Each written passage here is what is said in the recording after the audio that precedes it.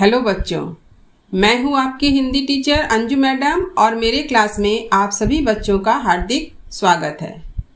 बच्चों, आज मैं आप लोगों के लिए एक नए पाठ के साथ उपस्थित हुई हूँ और वह पाठ है तुलसीदास के पद।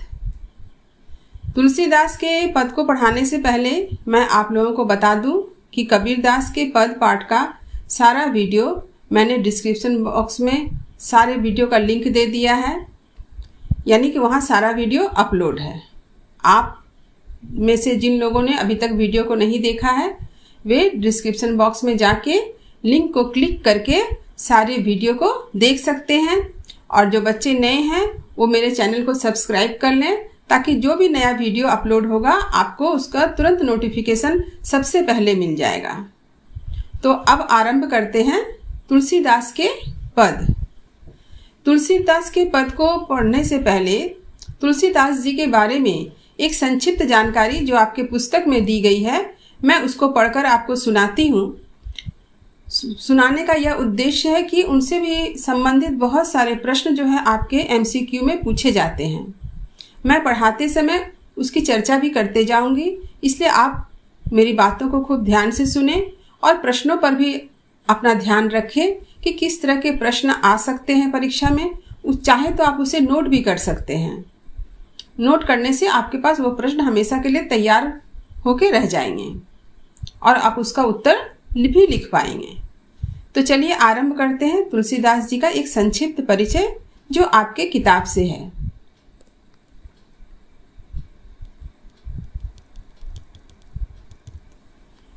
देखिए कवि परिचय। गोस्वामी तुलसीदास जी का जन्म संबत पंद्रह सौ नवासी, विक्रम सन 1532 ईस्वी में बांदा ज़िले के राजापुर नामक ग्राम में हुआ था। यहाँ से पहला प्रश्न बनेगा कि गोस्वामी तुलसीदास जी का जन्म कब और कहाँ हुआ था। वह सरुई पारी ब्राह्मण थे। इनके पिता का नाम आत्माराम दुबे तथा माता का नाम हुलसी था। इस पंक्ति को भी आप नोट कर लीजिए। आप अंडरलाइन भी कर सकते हैं कि उनके माता पिता का क्या नाम था।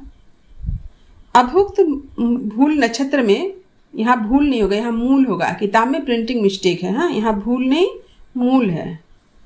अभुक्त मूल नक्षत्र में पैदा होने के कारण इन्हें इनके माता पिता ने त्याग दिया। इनका बचपन का नाम राम बोला था। यहाँ भी एक प्रश्न बन गया कि तुलसीदास जी के बचपन का नाम क्या था? इसे भी अंडरलाइन कर लीजिए। इनका पालन पोषण मुनिया नामक दासी ने किया। यह भी एक प्रश्न के कोटि में आता है कि उनका पालन पोषण किसने किया था बचपन में? इस तरह से पढ़ने से आपको पूरा तुलसीदास जी का परिचय भी प्राप्त हो जाएगा, याद भी हो जाएगा और परीक्षा के लिए भी आपके लिए बहुत सुविधा होगी आपको वहाँ उत्तर लिखने में। तुलसीदास जी का प्रारंभिक जीवन अत्यंत कष्ट में बीता। मुनिया दासी की मृत्यु के बाद तुलसीदास जी दर दर भटकते रहे। इनकी मुलाकात स्वामी नरहरि दास से हुई, जिन्होंने इन्हें रामकथा का अध्ययन कराया। बहुत सारे लोग कहते हैं इनके गुरु का नाम क्या था तो नरहरि दास भी लिखते हैं। तुलसीदास काशी में आकर धर्म शास्त्रों का अध्ययन करने लगे। इनका विवाह दीन बंधु पाठक की सुपुत्री रत्नावली से हुआ। तुलसीदास जी रत्नावली से अतिशय प्रेम करते थे। एक दिन रत्नावली इन्हें बिना बताए पीहर चली गई।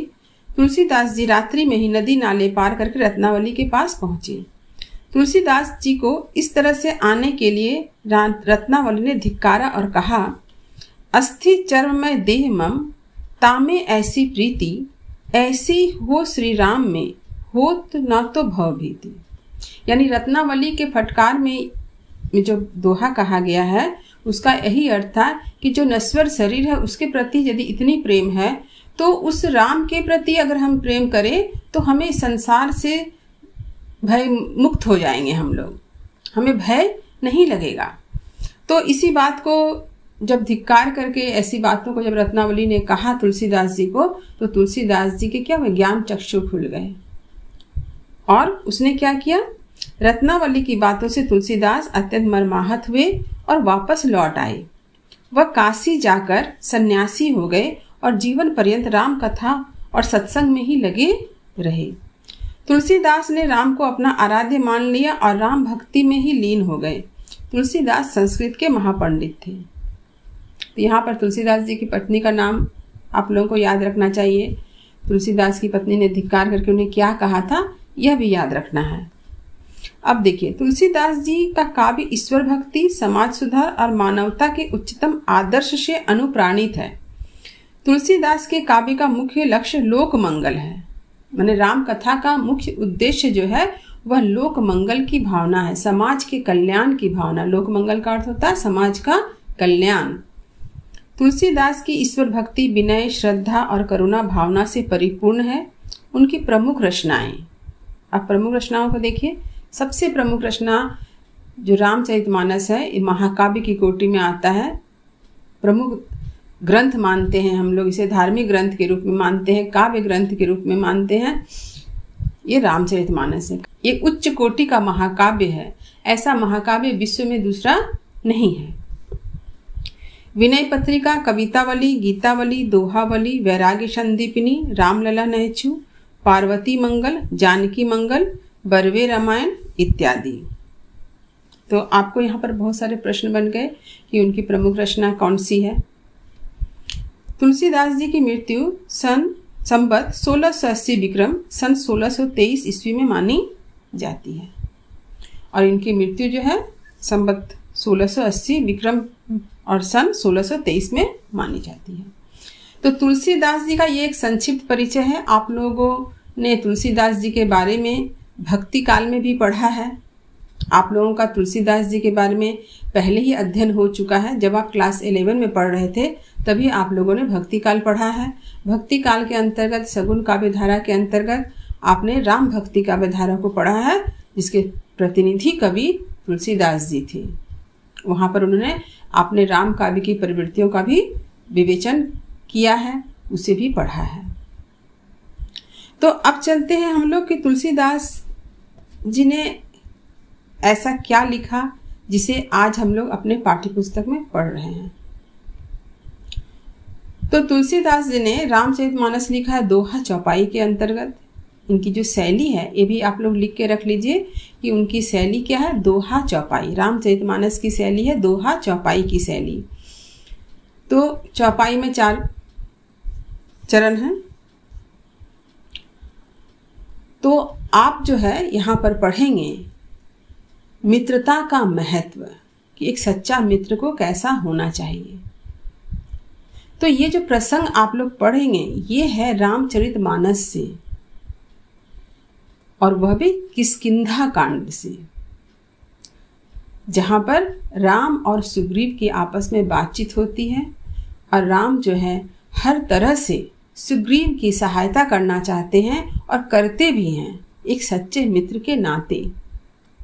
और राम ने सुग्रीव को, एक सच्चा मित्र कैसा होना चाहिए, एक सच्चे मित्र का स्वभाव कैसा होता है, इसके बारे में बतलाया है। तो आज हम लोग इसी को पढ़ेंगे। तो चलिए आरंभ करते हैं। देखिए। इसके अंतर्गत हम लोग कितने चौपाई पढ़ रहे हैं? इसके अंतर्गत हम लोग पढ़ेंगे पाँच चौपाई। देखिए, लिखा हुआ दो, तीन, चार, पाँच, इधर पहला। तो आज हम लोग दो चौपाई को पढ़ेंगे।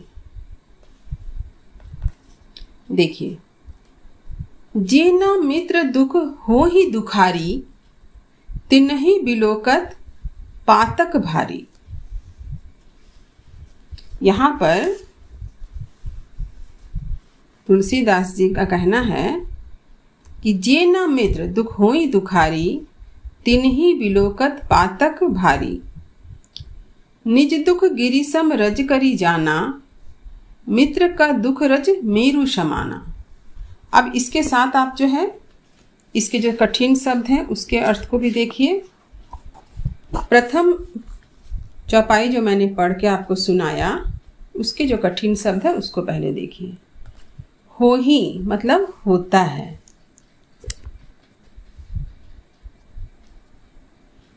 हो ही मतलब होता है। दुखारी मतलब दुखी। तिनही मतलब उसको। विलोकत देखने से। पातक उन्हें पाप। भारी मतलब बड़ा। निज मतलब अपना गिरी का अर्थ है पर्वत, सम का अर्थ है समान या बराबर, रज का अर्थ है धूल और मेरू का है पर्वत। फिर से एक बार देखिए हो ही का होता है, दुखारी का दुखी, तिन्ही का उसको, विलोकत का देखने से, पातक का पाप, भारी का बड़ा, निज मतलब अपना, गिरी का अर्थ है पर्वत सम मने समान, बराबर, रज, धूल, मेरू मतलब पर्वत। अब चलिए इसका अर्थ देखिए। तुलसीदास जी कहते हैं, जे ना मित्र, जे मतलब जो। यानी ऐसा मित्र ना मन नहीं है। यानी कहने का अर्थ हुआ, वह मित्र नहीं है। दुख हो ही दुखारी, जो अपने मित्र के दुख से दुखी नहीं होता है। वह व्यक्ति मित्र कहलाने योग्य नहीं है। इसका अर्थ हुआ, वह व्यक्ति मित्र कहलाने योग्य नहीं है जो अपने मित्र के दुख से दुखी नहीं होता है। तीन ही बिलोकत पातक भारी। वैसे मित्र को यानी वैसे व्यक्ति को देखने से भी बड़ा भारी पाप लगता है। जो मित्र के दुख को दुख नहीं समझता है या मित्र के दुख से दुखी नहीं होता है, उस व्यक्ति को देखने में भी पाप लगता है, बड़ा पाप लगता है। निज दुख गिरिसम रज करी जाना, मित्र का दुख रज मेरु समाना। अब तुलसीदास जी, मित्रता की परिभाषा देते हुए कहते हैं, मित्र की परिभाषा देते हुए कहते हैं कि सच्चा मित्र वही होता है जो क्या करता है? निज दुख, अपना दुख। गिरिसम अपना जो दुख था, वो पहाड़ जैसा था, बहुत बड़ा था। लेकिन रज करी जाना, उसे धूल के समान जाना।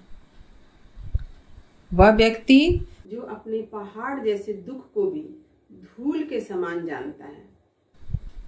और क्या करता है? मित्र का दुख रज मेरु समाना। और अपने मित्र के दुख को जो धूल के समान है, उसे पर्वत के समान बड़ा मानता है। यानी मित्र के दुख के सामने अपने दुखों की चिंता नहीं करता है। ऐसा व्यक्ति ही मित्र कहलाने योग्य है, जो अपने मित्र के दुख से दुखी होता है। अपने मित्र के छोटे से छोटे दुख को भी बहुत बड़ा मानकर उसे सहायता करता है और अपने दुख को मित्र के दुख के सामने बहुत छोटा मानता है। यानी मित्र के छोटे दुख को बहुत बड़ा माना और अपने बड़े से बड़े दुख को मित्र के दुख के सामने एकदम धूल के समान समझता है। यानी अपने दुख की परवाह नहीं करता है। मित्र के छोटे से तकलीफ़ में वह दौड़ कर जाकर सहायता करता है, अपने दुख की परवाह नहीं करता है। वही व्यक्ति मित्रता के योग्य है। जो व्यक्ति अपने मित्र के दुख से दुखी नहीं होता है, वह व्यक्ति को देखने से भी पाप लगता है। यह तुलसीदास जी का कहना है और राम ने सुग्रीव से ये बातें कही।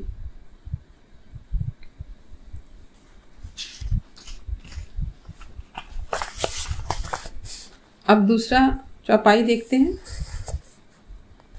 जिनके असीमति सहज न आई, तेसठ कतहटी करत मिताई। कुपथ निवारी सुपंथ चलावा। गुण प्रकटे अवगुण ही दुरावा। अब इसके अर्थ को देख लीजिए एक बार।